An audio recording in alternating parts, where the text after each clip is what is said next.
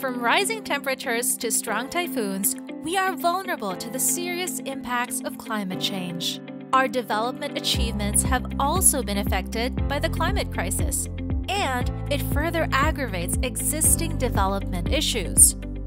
Local government units, being at the front line of climate action, must develop local solutions to these changing local conditions by investing in climate change adaptation and mitigation measures through climate responsive programs.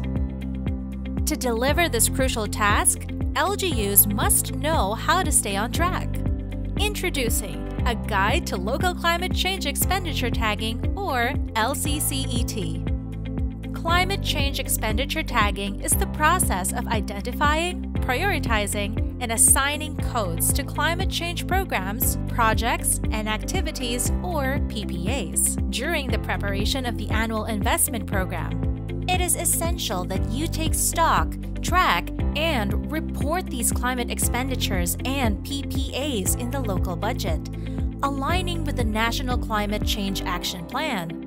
This process is done both at the national and local levels to ensure that all climate related PAPs are tagged. The Department of Budget and Management, the Climate Change Commission, and the Department of the Interior and Local Government institutionalized CCET through the Joint Memorandum Circular Number 2015-01. These three agencies have big roles and responsibilities in the climate mainstreaming process, from planning and budgeting to the tagging process. The CCET is broadly comprised of four main stages. First, in establishing the climate change rationale, the Climate Change and Disaster Risk Assessment, or CDRA, establishes the adaptation rationale, while the Greenhouse Gas Inventory, or GHGI, establishes the climate mitigation rationale. In CDRA, the Climate and Disaster Risk Assessment prepares information on the future impacts of climate change to the planning area, while the GHG inventory explains the sectoral greenhouse gas emissions. Their summary serves as your basis when brainstorming the adaptation and mitigation strategies in the next stage. Second, if there's anything that's key in the local CCET, it is determining the strategies for climate change adaptation and mitigation. When thinking about adaptation, you must ask this question What social and natural systems need adjustment and additional action to address the calculated risks to the area? For example, installation of early warning systems, building flood defenses, building climate change resistant crops, and redesigning systems and policies to incorporate resilience building. On the other hand, for mitigation, LGUs can intervene in order to reduce or avoid greenhouse gas emissions. The goal for mitigation is to prevent the planet from warming even more. Think about solar and mass public transport, solid waste management or wastewater control, and increasing carbon sinks such as forests. These are mitigation strategies that local government units may prioritize.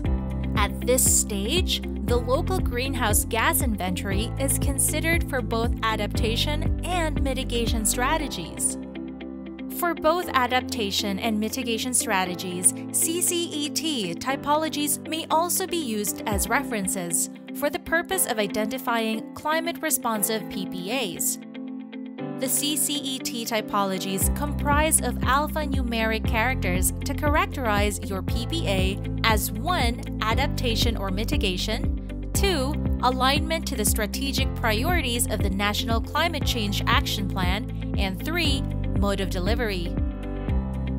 The typologies are helpful in the third stage, tagging prioritized climate change adaptation and mitigation PPAs in the annual investment program form.